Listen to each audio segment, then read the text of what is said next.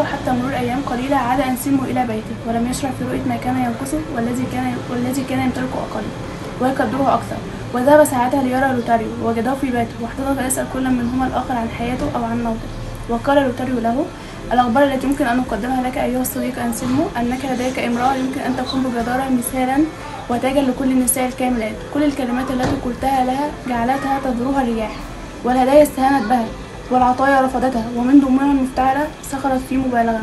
باختصار فإن كاميلا شفت كل جمال وهي أرشيف حيث يحفظ الشرف ويعيش التهذيب والعفاف. وكل الفضائل التي يمكن أن تحمد ويثنى عليها في امرأة.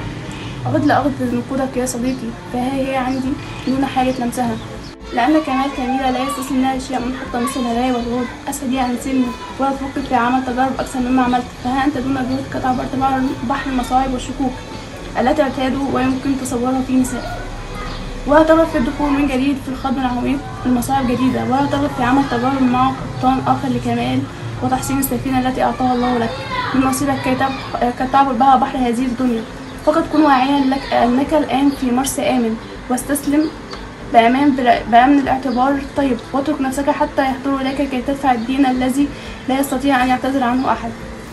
بقى أنسلمو في غابة السرور. من عبارة لوتاريو وهكذا صدقها كما لو كانت أقوال وحي إلهي. لكن مع كل هذا رجاه ألا يترك المهمة حتى لو كان من باب الفضول والتسلية. مع عدم الاستزادة من الآن فصاعدا من المساعي الملحة مثلما حدث حتى الآن. فقد هو يرغب أن أن يكتب له بعض الأشعار في التغذي بها تحت اسم كلوري.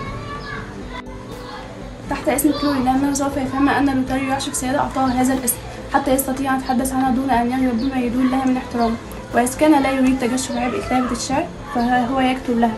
قال لوتاريو لن يكون ذلك ضروريا فليست عرائس الشعر لي بهذا العداء مع أنهن لا يزرونني في بعض أيام السنة. وقال لكاميلا ما قلته لي عن إدعاء حب كلوري هذه التي سأعمل لها أبيات الشعر. فإذا كانت أقل مما يستحق الموضوع فإنها ما استطعته بقي عند هذا الاتفاق الصفيق والصديق الخائن وعند عودة أنسلمو إلى بيته سأل كاميلا عما كان سيويشا ألا يسألها عنه. عندما طلب منها أن تقول له عن مناسبة البطاقة التي كتبتها وأرسلتها إليه. أجابته كاميلا إنها بد... إنها بدا لها أن لوتاريو كان ينظر إليها أكثر جرأة وأقل حياء مما كان يفعل في وجوده في البيت لكنها كانت محبطة ودار في ظنها أنه محض خيال من جانبها لأن لوتاريو كان يهرب من رؤيته ومن البقاء وحيدا معه. قال له أنسي قال لها أنسيمو أنها تستطيع جيدا أن تكون على يقين بشكلها فيما تصورت لأن لوتاريو يسير في عشق فتاة رفيعة المقام في المدينة يشير إليها تحت اسم كلوري. وحتى إن لم يكن عاشقا فما, فما كان عليها أن تخاف من تغيره من تغير حقيقة لوتاريو. لما بينهما من صداقة كبيرة ودون أن يخطرها لوتاريو من أن غراميته مدعاة بما تسمى كلوري وأنه قال ذلك لأنسيمو حتى يستطيع أن يشغل أن يشغل بعض الأوقات في نفس التغذر بكاملة. هي دون شك كانت ستقع في الشركة اليائسة والغيرة لكن لكونها متنبهة مرت عليها المفاجأة دون أن تثقل عليها.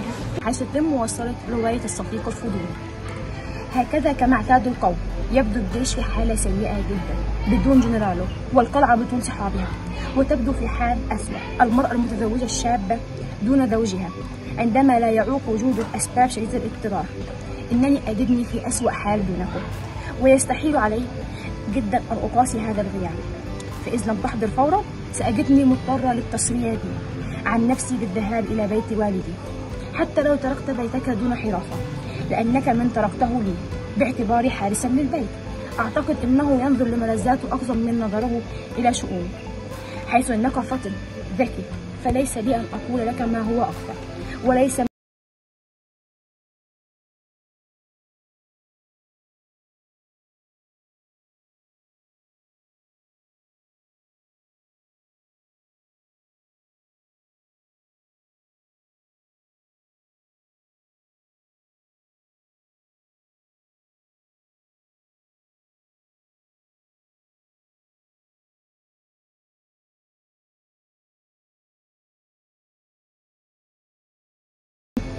لأنها لم تكن تجرؤ على البقاء في البيت أو الذهاب إلى بيت أبيها. فإن هي بقيت فشرفها في خطر وإن هي ذهبت فقد تكون خالفت أمر زوجها. في النهاية عزمت على ما علي ما كان الأسوأ لها بأن تبقى مع التصميم على عدم الهرب من حضور لوتاريو حتى لا تعطي فرصة للقيل والقال بين خدمها. وكان يسكب عليها أنها كتبت لزوجها. خوفا من أن يفكر أن لوتاريو قد وجد منها بعض الإغراء الذي حركه ألا يحافظ معها. على الاحترام الذي كان يدين به لها لكنها واثقة من كمالها وواثقة في الله وفي حسن طويتها مما سوف يساعدها على المقاومة بالصمت أمام كل ما يكون أمام كل ما كان يود أن يقوله لها لوتاريو دون إخطار زوجها بأكثر مما أبلغته به حتى لا تضعه في معركة وجهد ابتلاء. وفوق ذلك كانت تبحث عن التماس العز للوتاريو عندما يسألها زوجها عن مناسبة كتابة ما كتبت إليه به. مع هذه الأفكار الأكثر شرفا منها في الإصابة أو النفع. بقيت في اليوم التالي تستمع إلى لوتاريو الذي زاد العيار حتى أنه جعل عزم كاميليا يتزعزع وعانى شرفها أشد العناء في أن يعرح إلى عينها حتى لا تظهر أي دلائل على ما أيقظه بصدرها الانفعال العاطفي. بجانبه دموعه وعبارته وعبارات الغزل. لاحظ كل ذلك لوتاريو وكان كله يشعل فيه النار. أخيرا رأى أنه من الضروري تضييق الحصار على تلك القلعة في الوقت والفرصة التي اتيحها غياب أنسلمو وهكذا هجم على قصده بالثناء على جمالها لأنه لا شيء أسرع في استسلام وتليين حصول أبراج ذهو الحسنوات من, من نفس ذلك الدهو موضوعا على طرف لسان الثناء. بالفعل وهو بكل مسعى فجر صخرة كمالها بهذه المدائح. حتى أن كاميليا لو كانت كلها من البرون لسالت على الأرض. فبكى والتمس وهذا وأسنى وأفر وافتعل لوتاريو بأحاسيس كثيرة بدلائل على كثير من الصدق. مما أودي بحرص كاميليا وأدرك الانتصار الذي قلما خطر على باله تحقيقه. فاجه بأكثر مما يشتهي. واستسلمت كاميليا. كاميليا استسلمت لكن ماذا في ذلك من الكثير؟ إذا كانت صداقة لوتاريو لم تبقى صامدة على قدميها. مثال واضح على أن الشيء الوحيد الذي يهزم انفعالات الغرام هو الهرب منها وأن لا أحد ينبغي أن يضع نفسه في أحضان هذا العدو الجبار لأنه من الضروري وجود القوى الإلهية لهزيمة القوى الإنسانية. فقد عرفت لولانيا ضعف سيدتها لأن الصديقين اللدودين والعاشقين الجديد والعاشقين الجديدين لم يستطيع ستر الأمر بينهما. لم يحب لوتاريو أن يبلغ كاميليا عن حيلة أنسيلمو حتى لا تأخذ حبه باستهناء. إذا فكرت هل يا ترى كان دون تفكير؟ ودون غرض سيسعى لطلب ودها وفي اليوم التالي عندما كان الثلاثة على المائدة أراد أنسيلمو لوتاريو أن يقول شيئا مما ألفه في محبوبته كلوري التي لكون كاميليا لا تعرفها. يستطيع أن يقول عنها ما يشاء. قال كلوري حتى لو كانت تعرفها فلن أخبئ شيئا لأن أي محب عندما يثني على سيدته بأنها جميلة ويرضو ذلك. بأنها قاسية فأن لا شيء من العار يمكن أن يلحق بمصداقيتها لكن ليكن ما يكون الذي أعرف قوله أنني بالأمس عملت سونيتا من أجل جحود كلوري هذه نظمت بهذا النظام.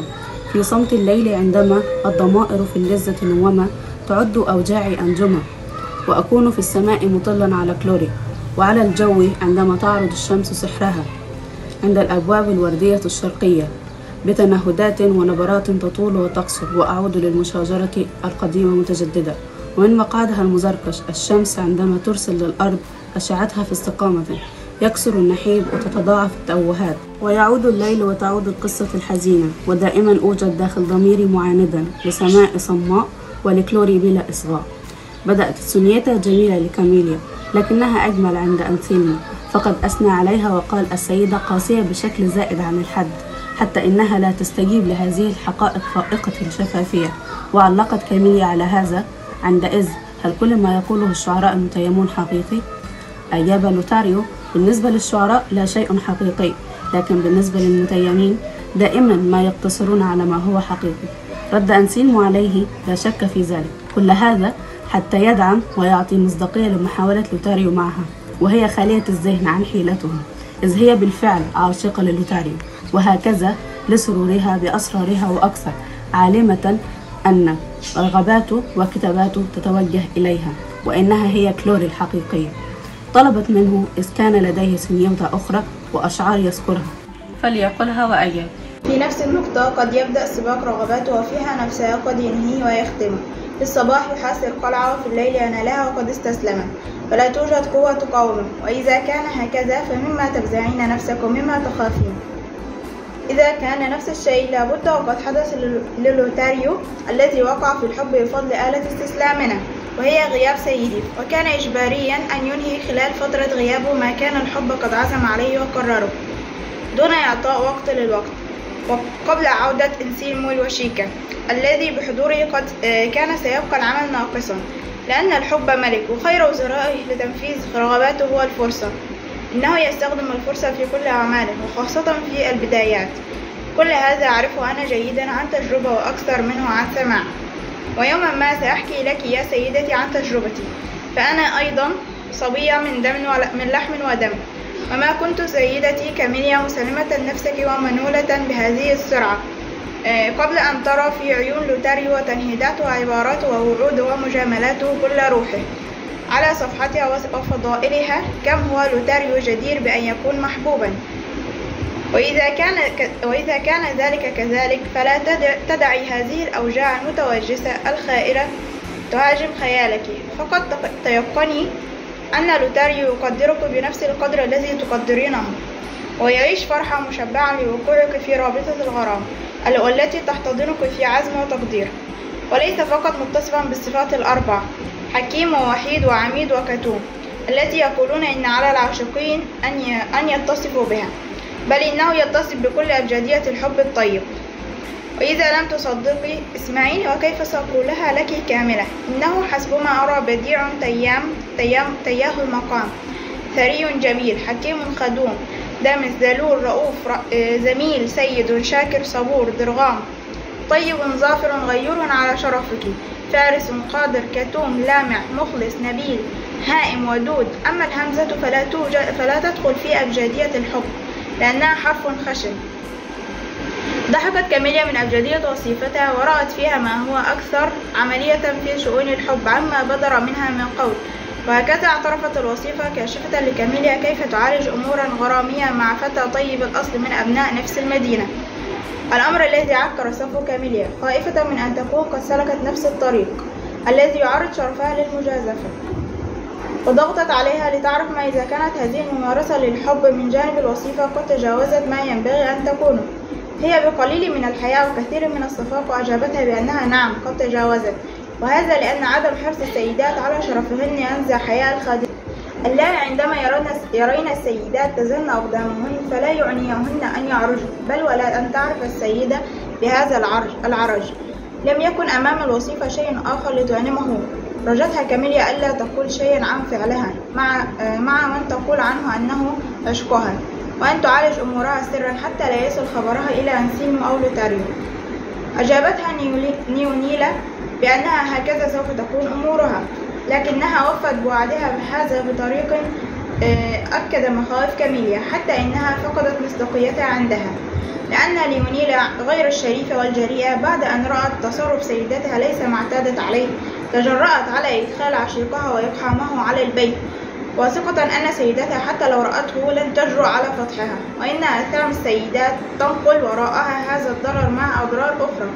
حتى إن أولئك السيدات يصرن إيماء عند قادمتهن أنفسهن ويرغمن على ستر خيانتهن وسفالتهن كما حدث مع كاميليا التي وإن كانت قد رأت مرة ومرات عشيق ليونيلا وصفتها في مخدعها في عقر دار كاميليا. نعم أذكر لكن لا أظن أنها ستكون في جمال الأولى أو بعبارة أدق أكثر رداءة ويمكنكم الحكم بذلك في سهولة فاستمعوا. أعلم أنني ميت. وإذا لم أصدق فالموت أكثر يقينا مثلما أنا أراني أوه جميلتي الجحودة ميتا تحت قدميك ميتا. قبل أن أندم على عبادتك قد يمكن أن أراني في إقليم النسيان. من المجد والحياة والنعيم بلا مكان وهناك ترينك في صدري المفتوح بنفس توهج جمال وجهك حين نحتوه. تلك التحفة التي أحفظها من أجل المحنة القاسية تهددني وتعاندني والتي تتحصن في صرامتك نفسها. آي من ذلك الذي يبحر والسماء مظلمة في بحر لم يبحروا فيه من قبل معبر خطر حيث لا يبين شمال ولا ميناء. أيضا امتدح هذه الكنيتا أنسيلمو كما فعل مع الأولى وبهذه الطريقة يضيف حلقة بعد حلقة يشكل بها سلسلة انتهاك شرفه ويوقعه في الفخ. وحتى عندما ينتهك لوتاريو أكثر هذا الشرف يبلغه أنه أكثر شرفا. وبهذا كل الحلقات التي كانت كاميلة تهبط بها نحو مركز الاستهانة به كان يصعد بها إلى ذروة الفضيلة والسمعة الطيبة عند زوجها. وحدث مرة أن كانت كاميلة مع وصيفتها مثل ما يحدث كثيرا أن يكون وحدهم قالت لها صديقتي يونيلا إني خجلة بأن أراني في وقت بهذا القصر قد وصلت إلى بخس قيمتي. حتى لم أدعو لوتاري يشتروا حق الامتلاك الكامل لإرادتي. هذه السرعة بثمن عال وأخشى أن يحكم على تسرعي أو طيشي دون أن يرى القوة التي أعطاها لي حتى لا أستطيع مقاومته. أجابت الوصيفة ليونيلا لا تألمي لذلك يا سيدتي. فليس من الأهمية أو السبب في انتقاص التقدير تسليم ما يسلم بسرعة. إذا كان بالفعل ما يسلم بضاعة جيدة ولذاته يعلو تقديره. واعتاد القول إن ما يسرع بالعطاء يعطي مرتين. قالت كميلة وأيضا اعتاد القول إن ما يكلف قليلا يساء تقديره. أجابت ليونيلا هذا المثل لا ينطبق عليك. لأنه طبقا لما سمعت أن الحب أحيانا يطير وأحيانا أخرى يسير. مع هذا يجري ومع ذاك تبطئ حركته وبعضهم يدفأ ومع البعض الآخر يحرق ومع ناس يجرح ومع آخرين يقتل. فهي لم تجرب فقط على عدم توبيخها بل أوسعت لها مكانا لتخبئته وزالت كل العقبات أمامها حتى لا يراعي زوجها ولكنها لم تستطع تجنب أن يراها لوتاريو في إحدى المرات خارجا عند انفلاق الفجر الذي دون أن يعرف من كان. فكر أولا في أنه مجرد خيال لكن عندما رآه يتحرك ويتحدد ويستدر في حرص وحذر تلاشت الفكرة الأولى وحلت محلها فكرة أخرى. كادت تودي بحياة الجميع لولا أن تدركتها كمينة بالعلاج ظن لوتاريو أن ذلك الرجل الذي رآه يخرج منتهكا شرف بيت أنسيلمو لم يكن قد دخله من أجل ليونيلا ليونيلا ولا حتى تذكر وجود ليونيلا في العالم. قد اعتقد أن كاميلا بنفس الطريقة التي كانت بها زلولة وطائشة معه كانت كذلك مع آخر. وهكذا فإن مثل هذه المستجدات في حياة المرأة الآثمة.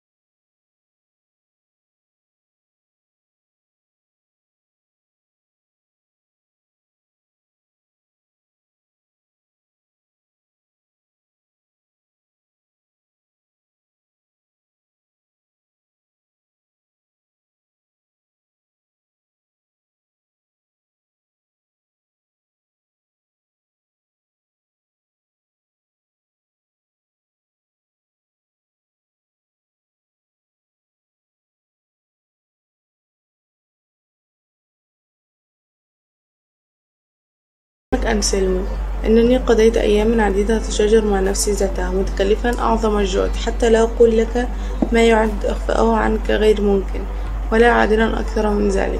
أعلم أن قلعة كيمينة قد انتهت من الاستسلام إنها تحت إرادة ما أود أن أصنعه بها. وإذا كنت تأخرت في إخبارك بهذه الحقيقة فقد كان للتثبت بأن وهمك لاختبارها لم يكن شيئا جادا أو أنك افتعلته لاختباري. وأيضا للتثبت أن غرتك كان أكيدا لمحاولة بدء الغراميات مع من طرفي بتصريح منك واعتقدت في نفس الوقت أنها لو كانت على ما يجب أن تكون عليه والذي تصورناه معا لكانت قد اختارتك دون, دون تردد بطلب حبها. لكن لرؤيتي أنها لم تفعل ولمعرفتي أن وعدها لي حقيقية في أن تتكلم معي في حال غيبتك عن البيت. من جديد في غرفة تغيير ملابسك وكان حقيقيا أن كميلة تتحدث مع لوتاريو هناك. وأود ألا تتسرع بالانتقام منه حيث أنه حتى الآن لم يرتكب الفحش إلا بالخواطر. ويمكن قبل تحويلها إلى فعل منذ الآن أن تتغير وتتحول عند كميلة إلى ندم وهكذا. حيث أنك اتبعت دائما كليا أو جزئيا نصائحي فاتبع والتزم بنصيحة سأقولها لك. سوف تكتفي بما تراه يناسبك أكثر دون خداع وفي يقظة غير مرئية ادعي أنك سوف تغيب عن البيت يومين أو ثلاثة أيام كالمعتاد في مرات سابقة واختبئ في الغرفة الموعودة. فستائر والتنفس بها قادرة على سترك في راحة كاملة. وعندها سوف ترى بعين رأسك وأنا بعين رأسي ما توداه كاملة. وإذا كان الفحش الذي يمكن أن نخشاه ولا نتوقعه في صمت وكياسة وفطنة يمكن أن تكون جلاد العدوان عليك. داهش ومأخوذ ومتعجب صار حال أنسلمو مستمعا إلى عبارات لوتاريو. لأنها فاجأته باعتباره آخر ما يتوقع في تلك اللحظة. ولأنه وثق من أن كميلة كانت المنتصرة على محاولات سطو لوتاريو وأنه بدأ جني ثمار هذا الانتصار. صامتا بقى برهة طويلة خلالها كان ينزل للأرض دون أن يحرك رمشا وفي النهاية قال لقد فعلتها لوتاريو. كما أملت من صداقتك سوف أتبع نصيحتك في كل شيء وأفعل ما شئت. وأحفظ ذلك السر فأنت ترى أن ذلك ما يناسب في حالة ما كانت لتخطر على بالك. وعداه أوتاريو بما أراد وعند مغادرته ندم على كل ما قاله له عندما رأى أي حماقة ارتكب. فقد كان في إمكانه الانتقام من كاميلا ليس عن هذا الطريق البالغ القسوة وانعدام الشرف. مضى يلعن ذكاءه ويحتقر قراره الطائش؟ ولم يعرف أي وسيلة يتبع لهدم ما بنى أو يجد للأمر مخرجا. في النهاية اتفق مع نفسه على إخطار كاملة بكل شيء. وكما أنه لم تنقصه الفرصة حيث وجدها ذلك اليوم وحدها وهي كما رأت أنها بإمكانها الحديث معه قالت له لتعلم صديقي أوتاريو أنني أحمل ألما في القلب حتى إنه يعصرني عصرا ويود أن ينفجر في الصدر وسيكون عجبا ألا ينفجر فقد بلغ عدم حياء ليونيلا أقصى المدى حيث تخفي كل ليلة عاشقا في البيت وتبقى معه حتى مطلع الفجر على حساب مصداقيته ليبقى المجال فسيحا للحكم على علي لمن يراه. يخرج في ساعات غير معتادة من بيتي والذي يرهقني أنني لا أستطيع معاقبتها أو تحديها لكونها سكرتيرة معاملتنا. مما كظم الكلام في فمي حتى أقزم الكلام حتى أقزم الكلام في فمها. وأخاف أن ينجم عن ذلك شر مستطير. في البداية عندما كانت كاميلا تقول له ذلك اعتقد لوتاريو اعتقد أوتاريو أنها حيلة منها حتى تكذب أن الرجل الذي رآه يخرج كان عشيق ليونيلا وليس عشيقها لكنه عندما رآها تبكي وتنهار وتطلب منه علاجا للأمر مضى يستوعب الحقيقة وعندما آمن بما تقول اضطرب وشمله الندم لكنه مع كل هذا قال لكاميلا ألا تألم وسوف يرتب العلاج حتى يقضي على صفقاته على على صفاقة ليونيلا قال لها في نفس الوقت إنه بإغواء الغيرة وما تولده من غيظ عنيف. قال لأنس... قال لأنسلمو وكيف تم الاتفاق على أن يختبئ بغرفة غياره للملابس ليرى كم هي قليلة الوفاء له بشكل مكشوف؟ طلب منها غفران هذا الجنون والنصيحة لإمكان علاج آثاره والخروج من هذا التيه المضطرب الذي خلقه سوء تفكيره.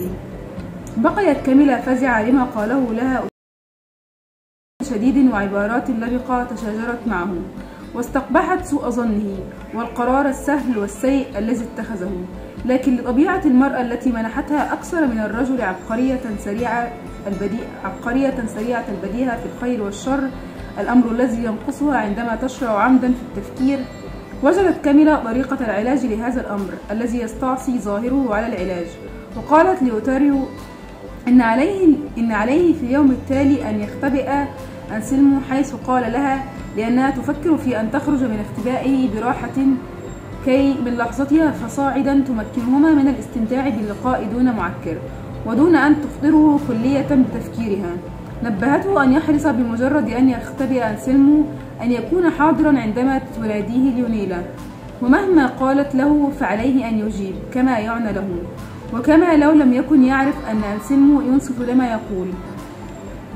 عاند لوتاريو كي تقول له عن قصدها كاملا حتى يحافظ بثقة ويقظة على قول كل ما يراه ضروريا. قالت كاملة لا يوجد بعد ما حدث ما ينبغي أن تحافظ عليه غير أن تجيب عن كل ما سأسألك عنه. هكذا غير راغبة غير راغبة كاملة في إعطائي مسبقا معلومات عما تفكر في صنعه خوفا من ألا يتبع رأيها. الذي رأته الأصلح. متبعا آراء متبعا آراء أخرى قد لا تكون في نفس الصلاحية. بهذا انصرف لوتاريو وفي اليوم التالي غادر أنسلمو بحج بحجة الذهاب إلى قرية صديقه وعاد حالا للاختباء وأمكنه ذلك براحة حيث مكنته من ذلك في مكر كاملة وليونيلا وخلال اختباء أنسلمو بقلب منخلع على قدر ما يمكن تخيله لمن ينتظر أن يرى بعينه تشريع أحشاء شرفه وأن يرى مجمل فضائل محبوبته كاملة على وشك الهلاك. أما كاملة وليونيلا واثقتين يقينا أن أنسلمو كان مختبئا دخلتا الغرفة وبمجرد أن وضعتها قدم كاملة أطلقت وبمجرد أن وضعتها قدم كاملة أطلقت تنهيدة وقالت يا صديقتي أليس من الأفضل قبل أن أنفذ ما لا أحب أن تعرفيه حتى لا تحاولي إعاقته؟ أن تمسكي بخنجر أنسلين. الذي طلبته منك وتخترقي به هذا الصدر الشائن صدري. لكن لا لا تفعلي هذا. فلا يوجد سبب لأن أحمل جناية ذنب شخص آخر. أولا أريد أن أعرف ماذا رأت في عيون لوتاريو الجسورة غير الشريفة من دواعي لأن يكشف لي عن تلك الرغبة الدنيئة التي كشف لي عنها في امتهانا لصديقه وانتهاكا لشرفي أطل ليونيلا من النافذة ونادي عليه فإنه مما لا شك فيه ينبغي أن يكون في الشارع منتظر أن ينفذ سوء تواه لكن أولا سوف يعرف شراسة كم أنا شريفة أجابت ليونيلا العليمة الفطنة سيدتي وماذا تودين أن تفعلي بهذا الخنجر؟ هل تودين أن تنتزعي الحياة من بين ضلوعك أو من بين ضلوع لتريو؟ إن كلا الأمرين لابد أن يسير بين الناس نحو ائتلاف لشرفك وسمعتك. الأفضل أن تزيحي جانبا هذا العنوان ولا تسمحي لهذا الرجل الخائن بالدخول الآن لهذا البيت. ويجدنا وحيدتين. انظري سيدتي فنحن امرأتين ضعيفتان وهو رجل ومليء بالعزم على تحقيق ما يريد. وسيأتي بهذا الغرض السيء أعمى ومنفعلا. ولعله يفعل ما يود قبل أن يتاح لك فعل ما تودين فيحملك إلى ما هو أسوأ من فقد الحياة. كم هو شقي موقف سيدي أنسليمو حتى إن هذا الشر المحيق أراد نزع ستر الحياء من بيته سيدتي. لا لا لا علاج إلا أن تقتليه كما تودين أن تفعلي. لكن ماذا سنفعل به بعد موته؟ أجابت كاميلا ماذا يا صديقتي؟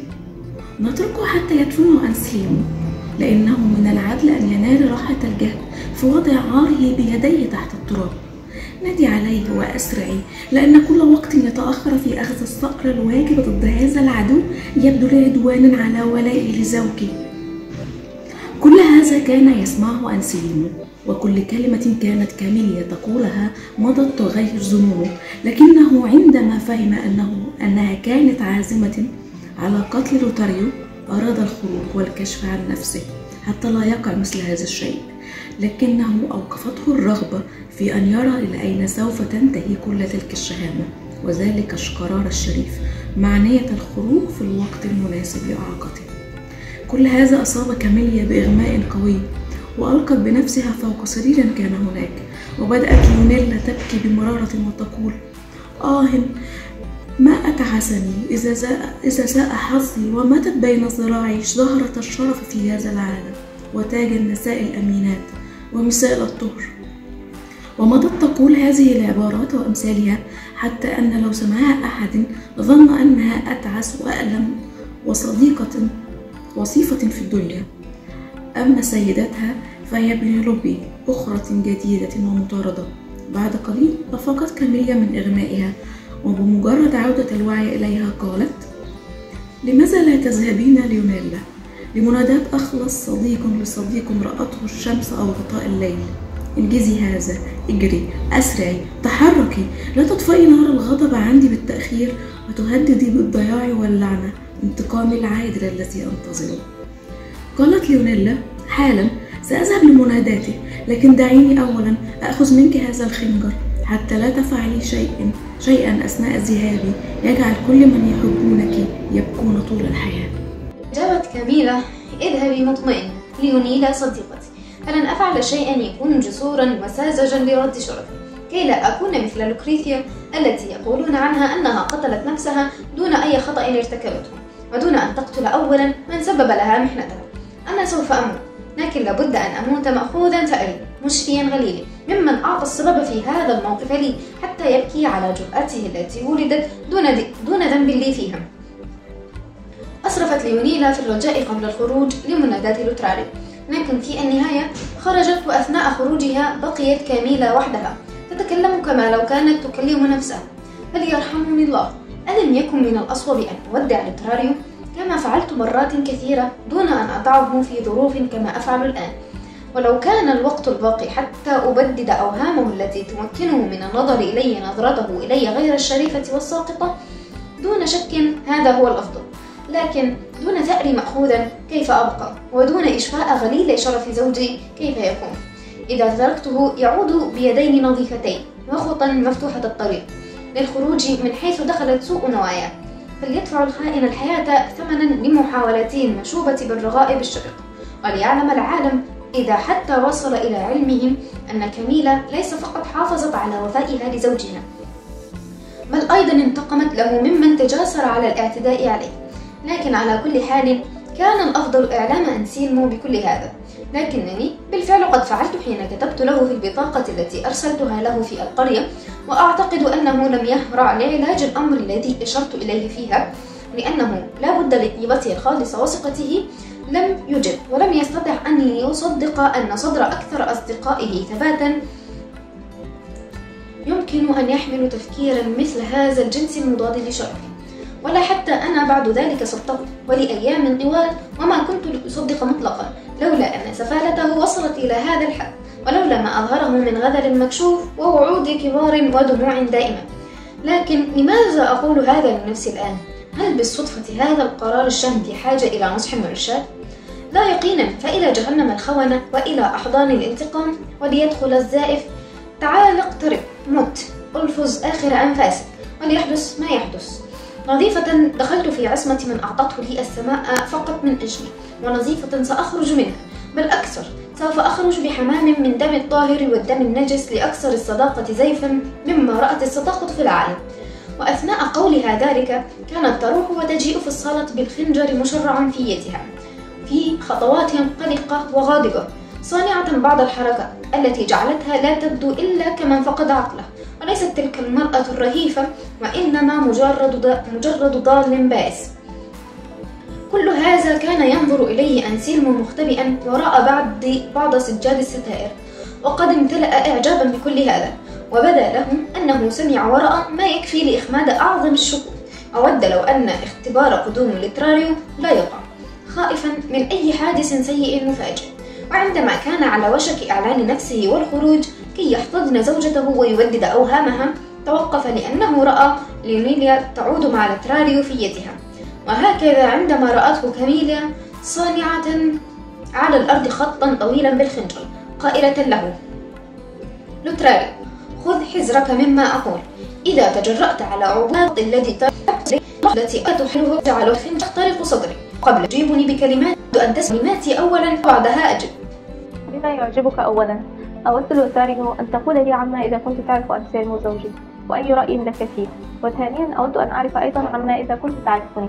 أجبني على هذا ولا تضطرب ولا تفكر كثيرا فيما يجب أن تجيب به حيث إن ما أسألك عنه ليس صعبا.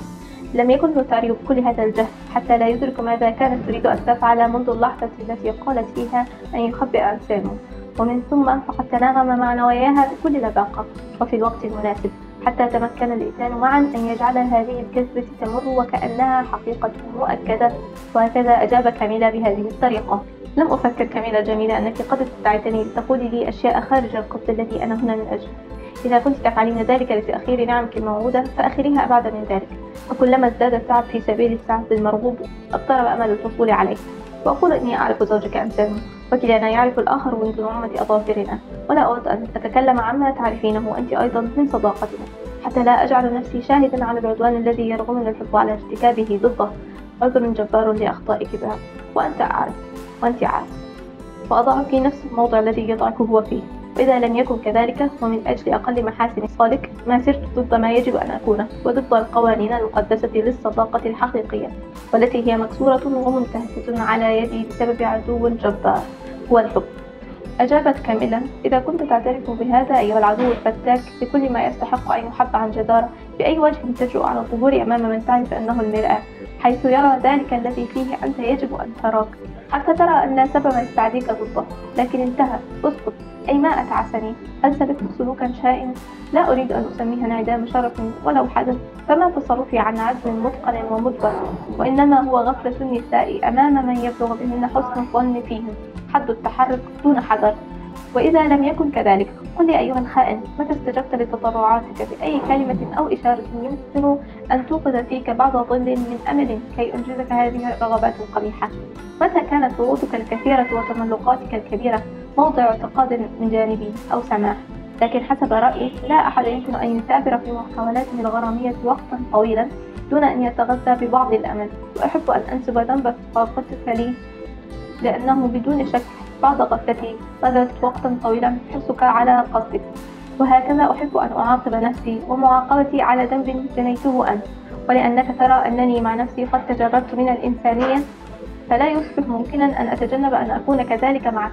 وأحببت أن أجعلك شاهدا على التضحية التي أفكر في تقديمها من أجل شرف زوجي المعتدي عليه رغم أنه رجل شريف قابل منك عدوانا كامل التدبير الذي أمكنته حيلته. ومتى لغفتي التي يحتمل أن تكون قد مكنتك من سانحة لفعل وأعود للقول أنني لابد أن أكون قد أهملت في سلوكي مما ولد فيك هذه الأفكار الضالة وهذا ما يرهقني أكثر ويدفعني لمعاقبتي بنفس يدي هاتين.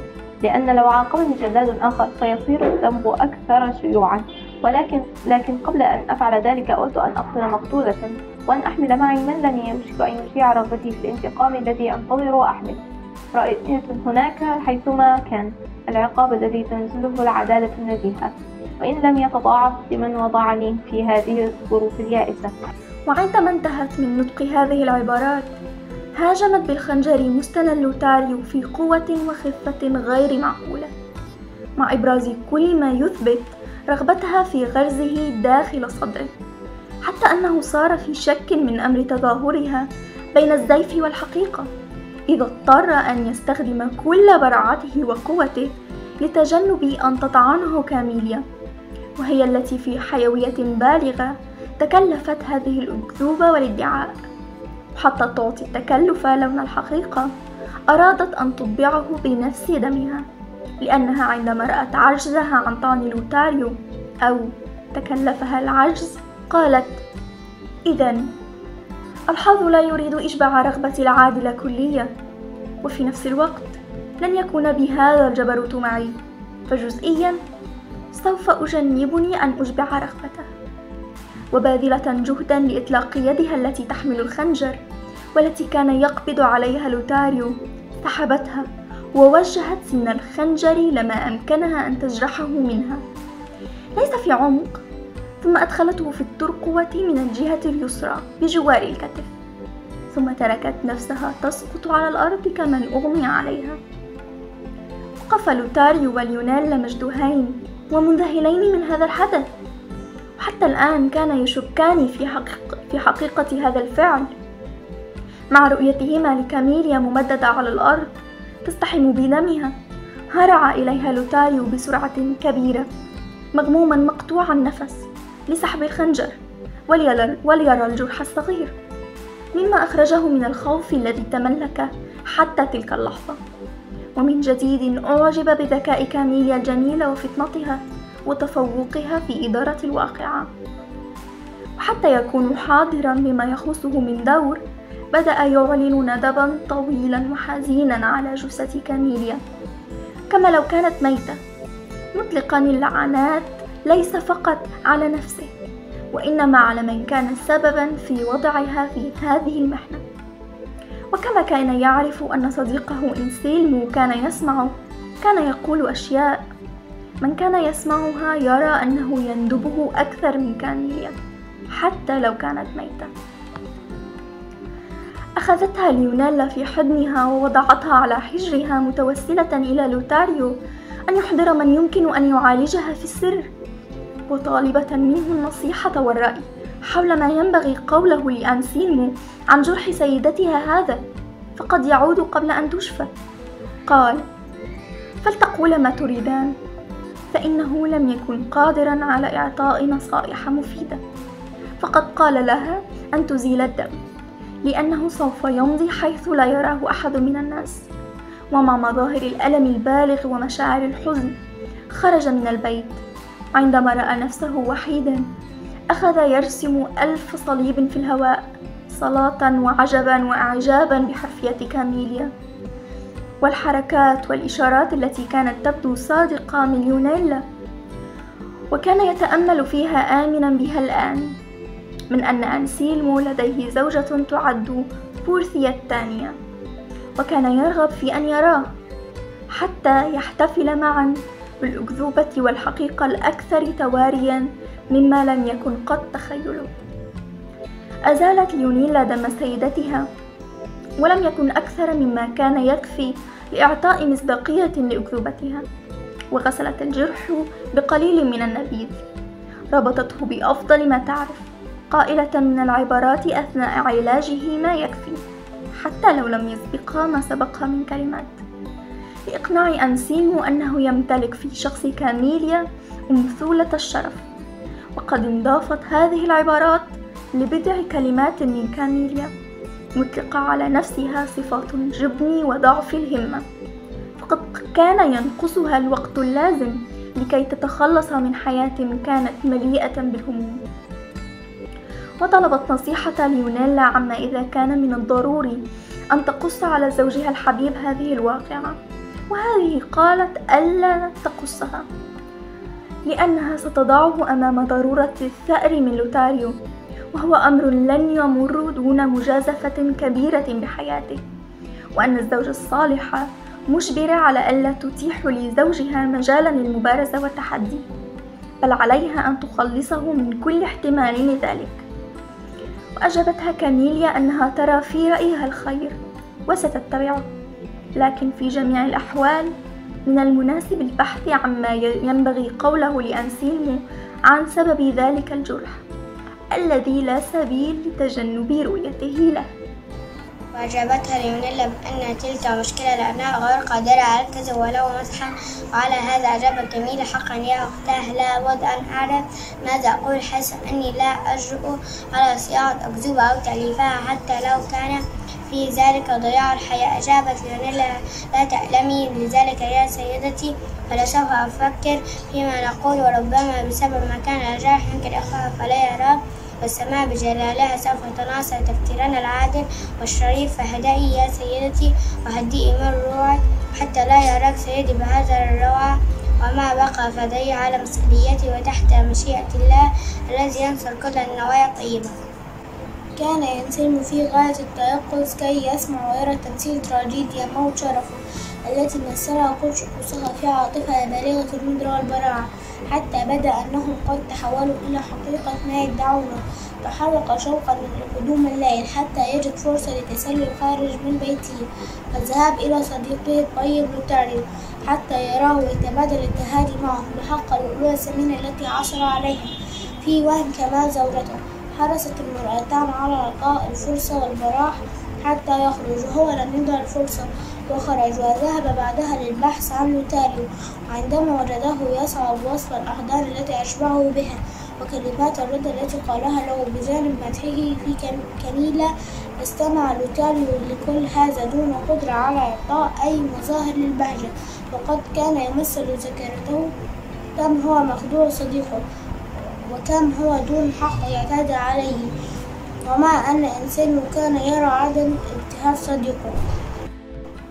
فقد أرجع ذلك إلى أنه قد ترك كميلة جريحة وأنه كان سبب جرحها وهكذا وبين عبارات أخرى. قال له ألا يحزن بسبب ما حدث لكميلة لأنه دون شك كان الجرح بسيطا وقد اتفقت مع ليونيلا على إخفائه عنه وأنه طبقا لذلك فلا يوجد ما يخشاه وإنما منذ تلك اللحظة فصعيدا عليه أن يتمتع ويبتهج معه معه لأنه لأن براعته وعونه وأنه قام بتشييد أعلى بناء لسعادته التي كان يتطلع إليها وأنه يود إلى ألا يسلي حياته بغير. كتابة أشعار في مدح كميلة حتى يخلدها في ذك في ذك في ذاكرة القرون القادمة. أثنى لوتاريو على عزمه الطيب وقال له إنه سوف يساعده في تجديد هذا البناء الألماني. لهذا بقى أنسلم أكثر المخدعين التزازا على وجه البسيطة وحال اعتقاده أنه قد كان يستدعي المشي حين استدعى ضياع شرفه واسمه استقبلته كميلة بوجه فيما يبدو كان متوئا ونفسه ما زالت باسمة دام هذا الخداع أيامه خرج إلى ميدان الرعب خلال شهور الفحش الذي كان مستورا بكثير من الاحتيال ودفع أنسلم حياته ثمنا لفضوله you.